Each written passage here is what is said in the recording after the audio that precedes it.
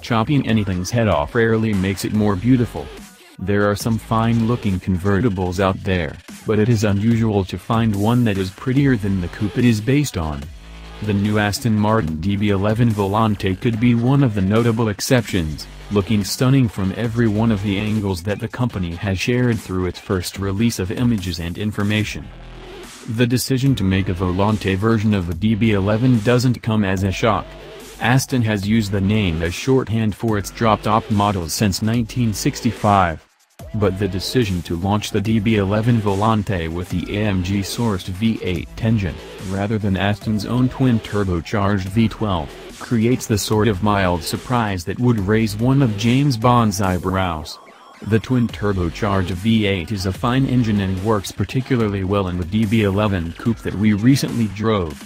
Still, it seems likely that a significant number of the buyers drawn to an Aston Martin convertible would also be the sort who'd seek to maximize their access with the brawnier V12.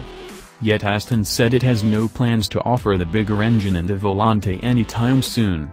If enough paying customers voice interest, however, plans have been known to change. As it is, the V8 makes for a refreshingly uncomplicated single model lineup.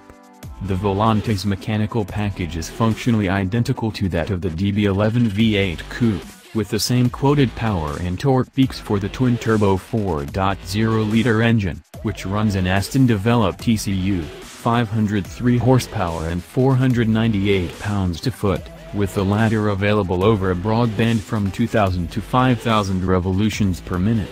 Torque is directed to the rear wheels through an 8-speed automatic gearbox the same snappy ZF-sourced unit that has pretty much taken over the luxury segment. Suspension is by control arms in front and a multi-link setup at the rear, and standard electrically adaptive dampers offer GT, Sport, and Sport Plus settings. The muscular lines of the DB11's lower body are particularly well suited to the decapitation, with the car looking better proportioned with top down than the old DB9 Volante did. The power-operated fabric roof now uses 8 layers of material to quell noise, and it is available in red, black, or gray. Aston says it takes just 14 seconds to lower the roof and 16 seconds to raise it, with this process possible while the car is traveling at speeds up to 31 miles per hour, even if heading directly into a headwind of the same speed. It also can be operated from outside the car using the remote key fob for maximum street theater. Durability testing for the new roof system included putting prototypes through more than 100,000 raising and lowering cycles in special weather chambers that were designed to simulate conditions in the world's harshest environments, Aston said. Good news for any Volante owners planning a top-down tour of Alaska in the winter. The aim was to compress the strain of a decade of real-world use into a one-month test period. Performance has hardly suffered. Aston claims a 4.1 second 0 to 62 mile per hour time, just a tenth of a second behind the official number for the V8 coupe and only two tenths behind the V12 DB11. Based on our recent test of the 12-cylinder coupe, we'd be surprised if we didn't record a 0 to 60 mile per hour time under 4 seconds when we get a Volante to the track. The claimed top speed of 187 miles per hour is identical to that of the V8 coupe.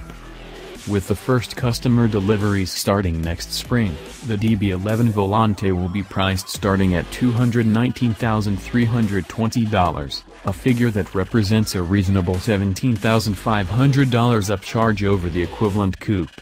For a car as handsome as this one, it's a price we suspect a large percentage of DB11 buyers in the United States will be prepared to pay.